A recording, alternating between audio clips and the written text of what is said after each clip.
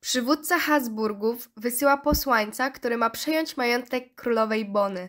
Posłaniec stara się nakłonić królową do uczynienia zapisu. Jednak jego zabiegi nie kończą się pozytywnie. Wtedy postanawia zamordować królową Bonę.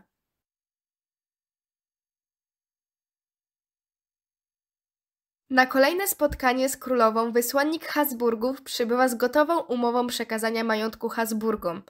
Wykorzystuje rozproszenie królowej i podaje jej truciznę.